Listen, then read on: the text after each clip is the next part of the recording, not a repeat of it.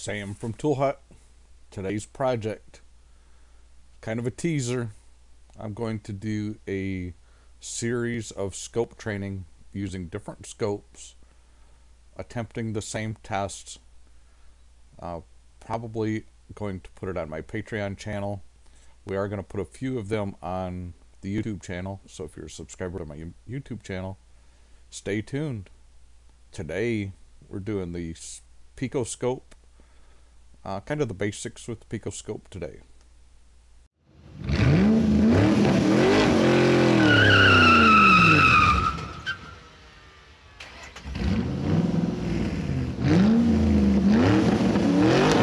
Hello, Sam from Tool Hut here today. Today we are going over the first usages of the Picoscope automotive software. So it is going to be a series of scope training. I don't know how many classes it'll end up being, uh, but it will be a series and it, it probably be on my Patreon channel as well. So um, if you're not subscribed to my Patreon channel, I'll leave the link in the description. Any equipment that you see used in our videos is available on our website or by sending me a message.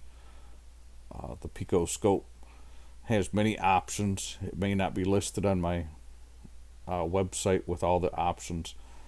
I suggest if you're interested in a Pico scope that you send me a, a message and uh, or call me from my website or send me a message from my website or something and we can get you going.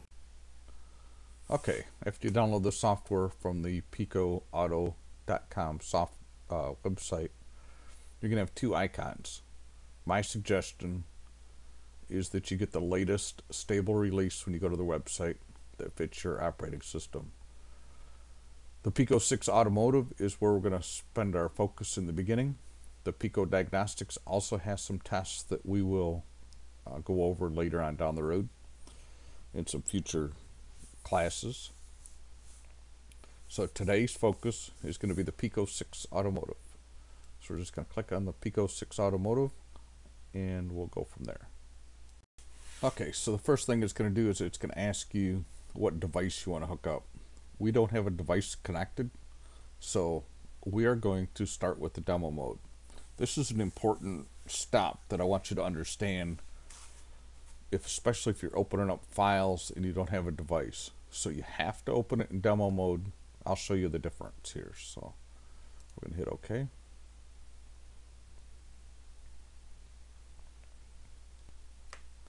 Should come up with a demo, demo file here. Uh, we don't really care what it is. I just want to show you a couple of things here. So, uh, looks like an injector to me. Uh, everything's on auto. Again, I don't really care what, about this right this minute, but I want to show you something. So, if we hit open, we're going to look at a file that somebody sent. Uh, I'm just going to pick one here. Doesn't really make any difference what it is. So here's a cam and crank correlation on a Saturn relay. Notice that my volts and my division, my buffer, everything is here. I can do anything I want in here. I can manipulate this. Data. I can I can zoom in but let's let me just show you what happens if we uh, if we don't open it like that. So let's just go to our viewer. I'm going to pick another file. Again, it really doesn't make any difference what the file is.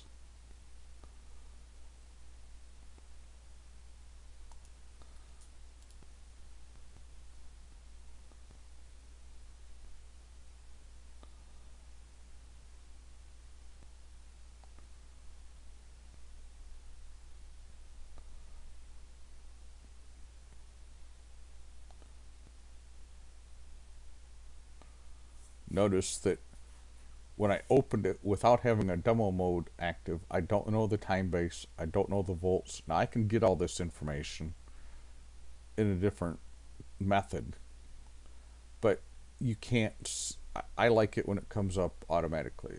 So you can actually, if you did it properly, you could actually hook up to a vehicle and not have to change any of these settings. So uh, that is the first thing I want to show you. So if you're not using a Pico right now, you're just getting familiar with software and somebody's sending you files, start with demo mode and then open the file from within demo mode. And we'll get more into some files here. Okay, so what I want you to do is I want you to open the Picoscope automotive software in demo mode. So once you have the Picoscope automotive open in demo mode, understand that this is very advanced software. It's easy to use, but you can do anything you want with it. The more you use the Picoscope software, you're always going to find things that you can do in it. Something to make your life easier. You learn something all the time the more you use it. But the you need to understand the basics of the software before you can really get going.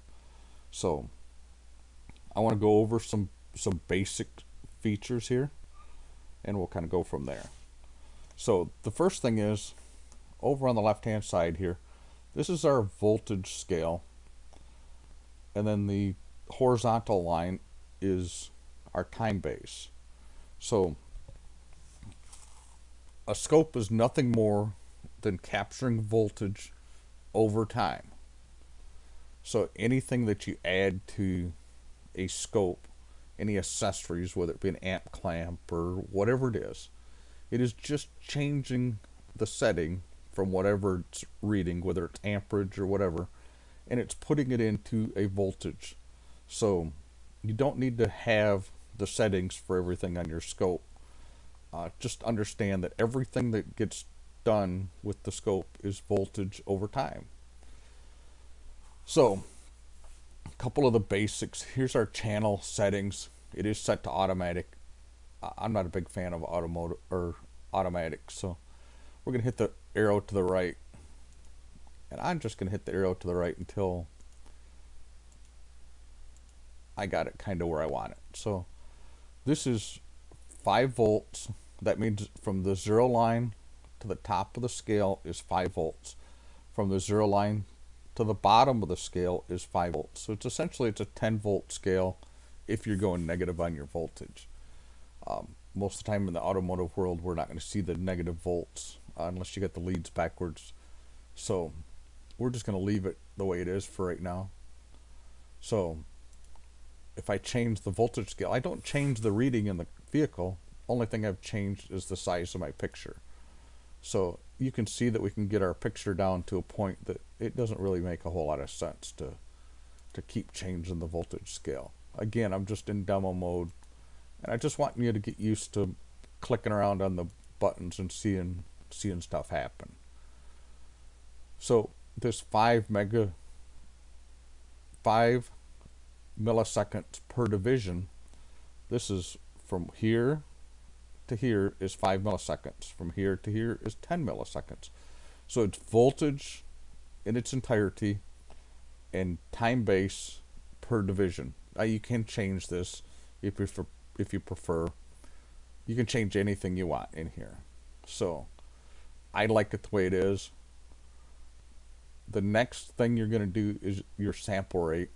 Uh, we're not going to get into a whole lot of sample right here. You can also just click on the box here.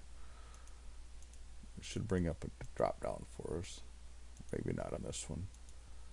So we can hit the arrow to there. This is where it should have defaulted is the 1 million samples per screen. So that means from from here to here, it's taking a million samples of the screen. Now you can take more than that, you can take less than that. Uh, don't know that it makes a whole lot of difference to make any more than that. Now, depending on how many channel scope you got, whether it's a one channel, a two channel, a three channel, a four channel, uh, some people have the eight channel scope. It really doesn't matter as far as the usage of the scope. It's all the same. We're just going to add more channels. In other words, the more things we can sample at the same time. It is one time base and then each sample has its own uh, voltage. So let's go ahead and do something here. Let's see if it'll bring up another channel. And it will. So I can make these the same. Depends on what you're scoping. So we're just going to put two things on the screen just to, because a lot of people have two channel scopes. We're going to make it easy. So you notice that the, the first thing is, is that the pattern's all over the screen. So we want to get to a point that we can see. I'd like to see repetition, especially in automotive things. You want to see repetition. A lot of times we don't look at just one particular uh, signal. We're looking at multiple signals, but we want to see the repetition. So we're going to increase our time base until we get some repetition on the screen.